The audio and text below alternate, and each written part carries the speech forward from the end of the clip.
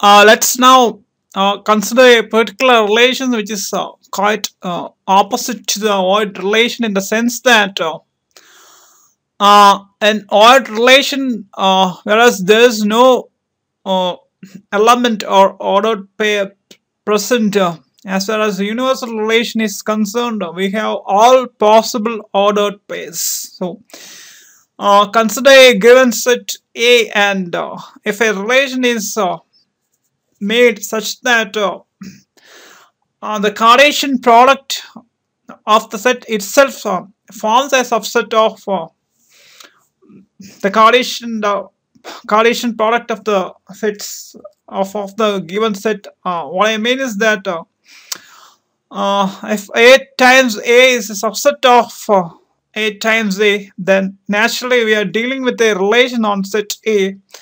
And the key property is that it's a universal relation in the sense that each element of A is related to every element of set A. Uh, what, it exactly means is that now in a uh, ordered pair AB, uh, all the elements uh, which are participating from uh, both the uh, sets, both the participating sets, that is in this particular case the set itself, are forming ordered pairs. That is, uh, it implies that uh, the ordered pair AB, uh, which is an element of the relation, is in such a manner that uh, that ordered pair is an uh, element of uh, A times A or, or the Cartesian product of the set itself. This means that all possible ordered pairs or, or, or, or, all the elements are forming uh, ordered pairs. So the number of ordered pairs is, is naturally the maximum uh, in the case of a universal relation for any given uh, particular set.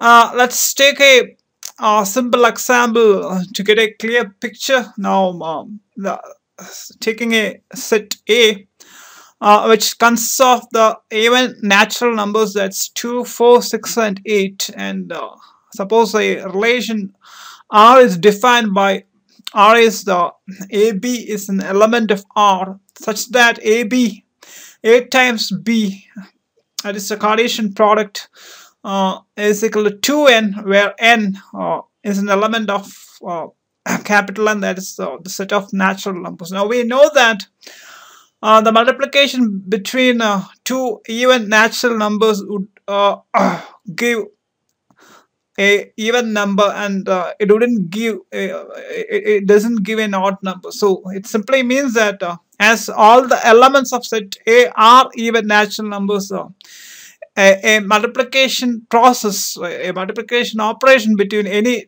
two of uh, those numbers would only give an even number which simply means that if such a relation is defined then all the elements would be uh, forming ordered pairs in such a relation. That is, uh, a b a times b is equal to 2n for all, uh, and the ordered pair ab is an element of a. That means uh, we'll be getting all uh, possible ordered pairs as far as this particular relation is concerned.